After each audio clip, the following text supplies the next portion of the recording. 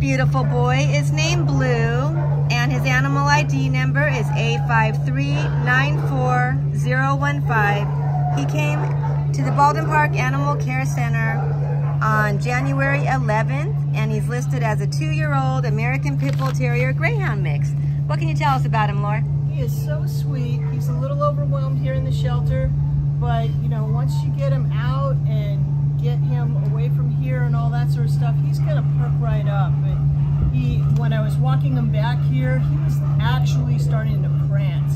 So I think he's gonna be a little bit of a show pony. Aww. Once he gets out of here and he relaxes and all that, and he's gonna be so loyal and so bonded to whoever rescues him because he knows that he was getting rescued. He's a long, tall, handsome drink of water, so come on down and meet him. I think you're gonna fall in love. He's just such a gentle boy. He's gonna be such a wonderful addition. He's a sweetheart, so come, household. come and get him out of here. He's waiting for you.